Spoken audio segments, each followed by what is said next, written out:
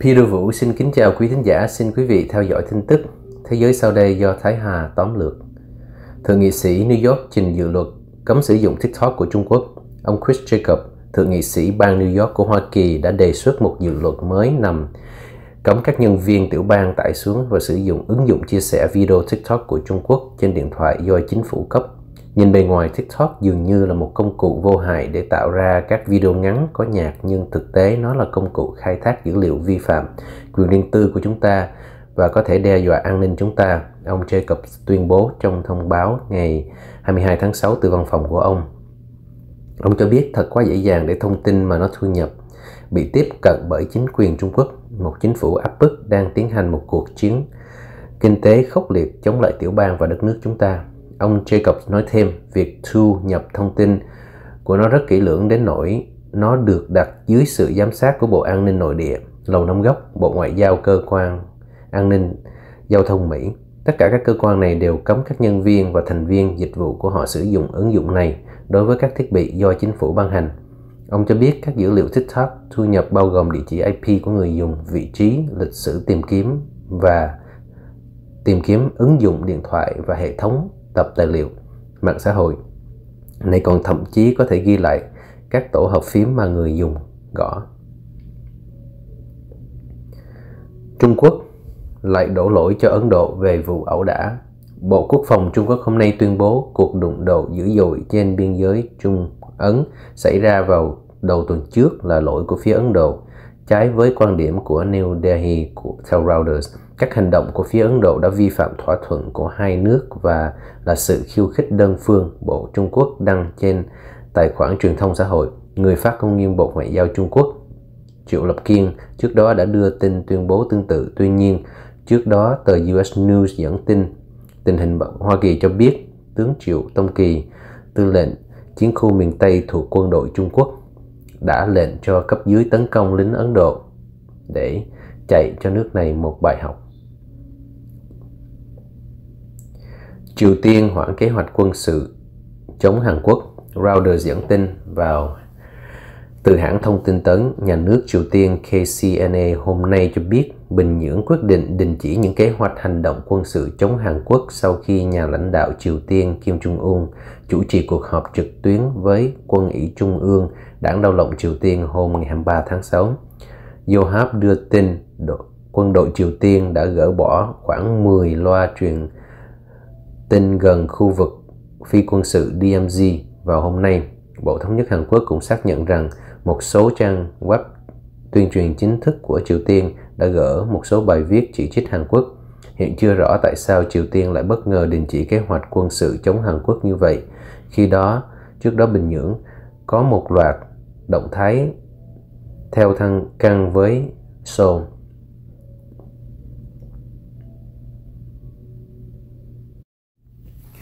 Chuyên gia Anh cảnh cáo làn sóng COVID-19 thứ hai. Các chuyên gia y tế Anh hôm nay cảnh báo nguy hiểm từ làn sóng COVID-19 thứ hai trong bối cảnh Thủ tướng Boris Johnson mới nới lệnh phong tỏa để thúc đẩy nền kinh tế theo Reuters. Tình hình dịch ở Anh trong tương lai rất khó đoán, song bằng chứng nó sẵn chỉ là rằng nguy cơ bùng phát dịch ở địa phương đang tăng và làn sóng lây nhiễm thứ hai sẽ là rủi ro thực sự.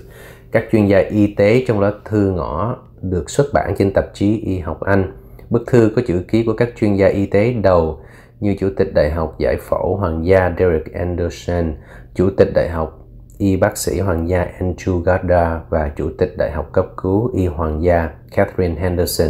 Nhiều yếu tố về cơ sở hạ tầng cần thiết để kiểm soát virus và bắt đầu được thực hiện, nhưng đó vẫn còn có những thử thách đáng kể, các chuyên gia viết, các chuyên gia cũng kêu gọi chính quyền tập trung những khu vực yếu kém để ngăn làn sóng dịch thứ hai hạn chế mất mát và khôi phục kinh tế nhanh nhất có thể.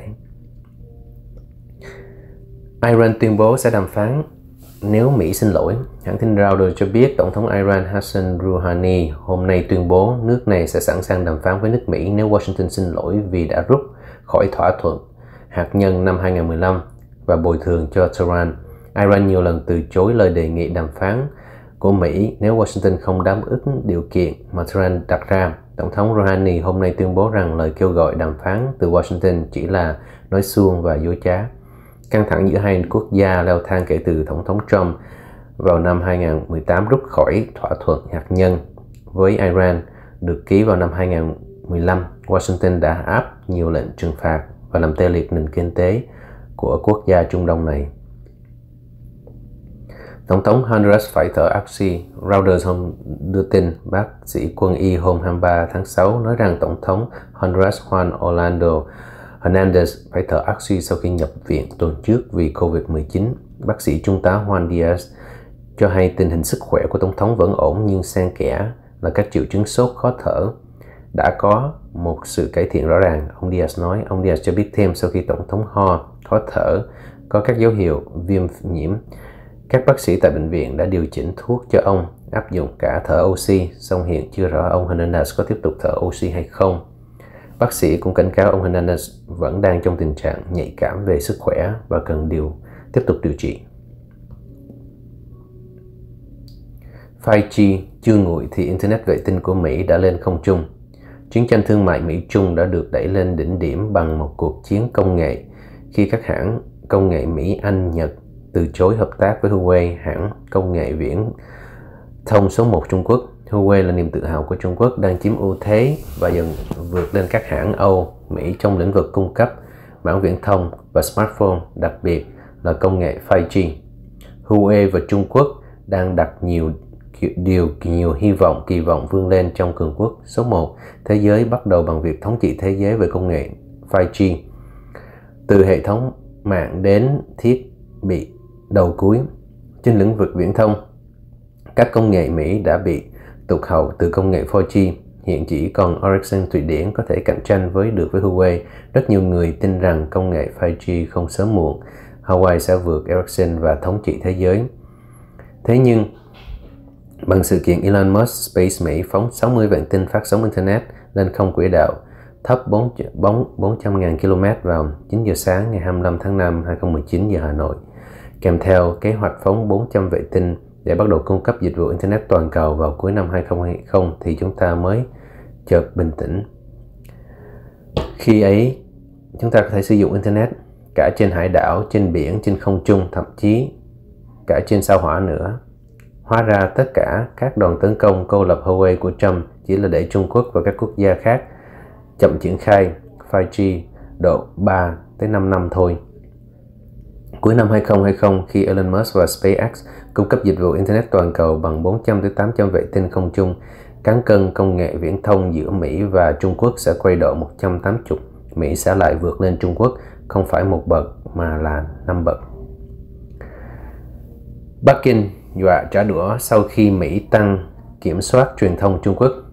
Sau khi chính phủ Mỹ liệt thêm 4 hãng truyền thông nhà nước Trung Quốc và các phái đoàn nước ngoài, chế độ Bắc Kinh đã đe dọa và sẽ thực hiện các biện pháp đối phó cáo buộc Washington phải bội cam kết chính mình về tự do báo chí. Bộ Ngoại giao Mỹ hôm ngày 22 tháng 6 đã liệt thêm 4 hãng tin nhà nước Trung Quốc là các phái đoàn nước ngoài Động thái này đồng nghĩa Washington sẽ xác nhận các hãng tin này là cơ quan tuyên truyền của Đảng Cộng sản Trung Quốc. Họ phải chịu sự kiểm soát và đối với các đại sứ quán hoặc các phái đoàn ngoại giao.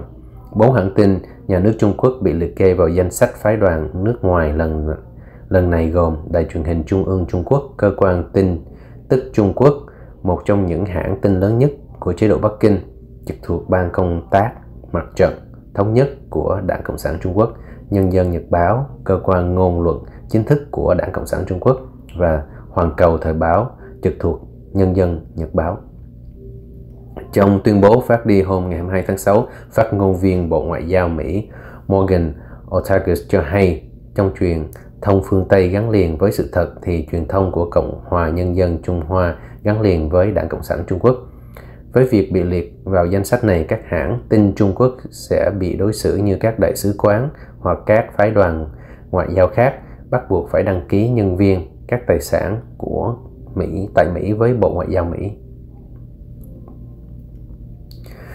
Tỷ lệ người Úc không tin Trung Quốc tăng cao hôm thứ Tư, Viện Lowry cho công bố một khảo sát thường kỳ về thái độ của người Úc đối với thế giới. Kết quả cho thấy không có nhiều người Úc tin tưởng vào chính trường quyền Trung Quốc, theo SBC News. À, chỉ có 23 người Úc được khảo sát tin vào việc ở mức độ nào đó chính quyền Trung Quốc hành động có trách nhiệm với thế giới giảm 52% với cuộc khảo sát năm 2018, trong khi đó tỷ lệ người đòi hỏi còn tin tưởng Chủ tịch Trung Quốc Tập Cận Bình, cư xử đứng đắn với thế giới, đã giảm dần một nửa, từ mức 43% 2018 xuống còn 22% trong cuộc khảo sát lần này.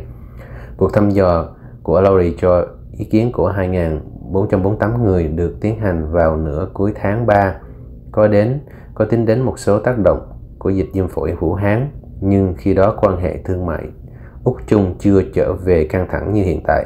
Ngoài ra khi đó, chính quyền Trung Quốc chưa cảnh cáo người dân của họ rằng không nên tới Úc, có thể bị phân biệt đối xử.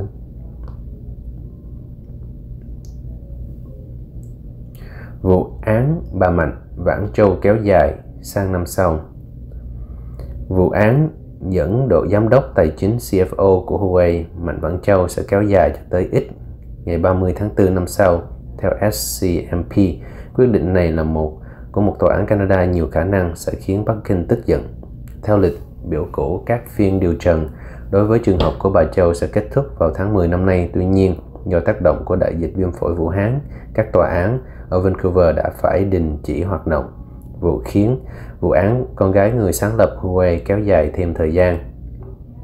Vào ngày 1 tháng 12 2018, khi đang nối chuyến bay tại sân bay quốc tế Vancouver để đến Mexico từ Hồng Kông, bà Châu đã bị chính quyền Canada bắt giữ theo yêu cầu dẫn độ của chính phủ Hoa Kỳ. CF của Hawaii bị Mỹ cáo buộc thực hiện các hành vi sai trái vi phạm lệnh cấm vận của Washington đối với Iran. Mỹ đề nghị Bắc Hàn tuân thủ theo hiệp ước đã ký hôm thứ Ba. Bộ Ngoại giao Hoa Kỳ kêu gọi Triều Tiên quay trở lại với hiệp ước đã ký trong bối cảnh Bắc Hàn tiếp tục có những hành động đe dọa Hàn Quốc theo Yonhap. Chúng tôi vẫn phối hợp chặt chẽ với đồng minh Hàn Quốc kêu gọi Triều Tiên quay lại hiệp ước. Phát ngôn viên giấu tên của Bộ Ngoại giao nói với hãng thông tấn Yonhap, Bộ Ngoại giao Hoa Kỳ cũng đã kêu gọi Triều Tiên kiềm chế các hành động phản tác dụng tiếp theo. Sau khi Bình Nhưỡng cho phá hủy một văn phòng liên lạc Triều Tiên vào tuần trước,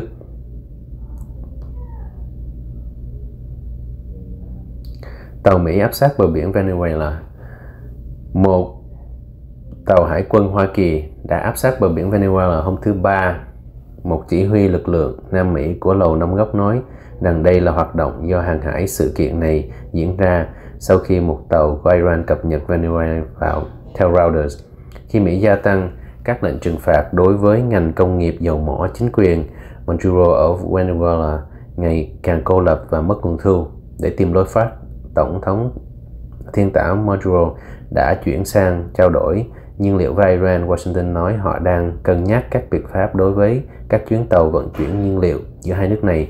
Tuy nhiên, đại sứ Iran tại Caracas tuyên bố rằng chuyến tàu của họ nhập cảng Venezuela hôm thứ Hai là tàu chở lương thực, không phải chở dầu.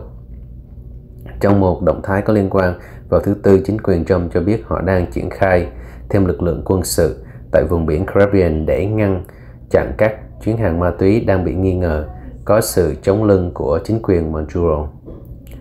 Động đất mạnh ở Mexico khiến hai người tử vong. Vào thứ Ba, đã xảy ra một trận động đất mạnh ở vùng biển phía nam Mexico làm chết ít nhất hai người trong đó có nguy cơ xảy ra sóng thần trên dải bờ biển dọc theo Trung Mỹ. Fox News đưa tin cơ quan khảo sát địa chất Hoa Kỳ cho biết trận động đất có cường độ 7,4 độ Richter xảy ra vào lúc 11 giờ 29 ở vị trí 7 dặm về phía tây bang Santa Maria, Yapchitlan, Mexico. Trung tâm sóng thần Bình Thái Bình Dương cảnh cáo rằng trận động đất có nguy cơ kéo dài theo sóng thần trong vòng 620 dặm tính từ tâm chấn dọc theo bờ biển Thái Bình Dương của các nước Mexico, Guatemala, El Salvador và Honduras. Bộ trưởng Tài chính Mỹ, Mỹ Trung sẽ chia cắt nếu công ty Mỹ không được cạnh tranh công bằng. Bộ trưởng Tài chính Mỹ Steven Mnuchin hôm thứ Ba ngày 23 tháng 6 rằng tách rời giữa hai nền kinh tế Mỹ và Trung sẽ xảy ra nếu các doanh nghiệp Mỹ không được phép cạnh tranh trên một cơ sở công bằng và bình đẳng tại thị trường Trung Quốc. Phát biểu tại một sự kiện trực tuyến đồng tài trợ bởi tập đoàn tài chính Bloomberg và quỹ đầu tư Invesco ông Mujin Home cho biết có đầy đủ kỳ vọng Trung Quốc sẽ tuân thủ theo các điều khoản của Hiệp định Thương mại giai đoạn 1. Theo đó, Trung Quốc sẽ gia tăng việc mua hàng hóa, năng lượng và dịch vụ của Mỹ theo Reuters. Nếu chúng ta có thể cạnh tranh với Trung Quốc trên một sân chơi công bằng và bình đẳng, thì đó là một cơ hội tuyệt vời với các doanh nghiệp và người lao động Mỹ. Vì Trung Quốc có một tầng lớp trung lưu lớn mạnh đang phát triển, ông nói. Tuy nhiên, nếu chúng ta không thể tham gia và cạnh tranh trên một cơ sở công bằng, thì họ thấy, sẽ thấy có một sự chia cắt ở phía trước mặt. Peter Vũ xin kính chào tạm biệt. Quý khán thính giả, xin hẹn quý vị vào tuần sau.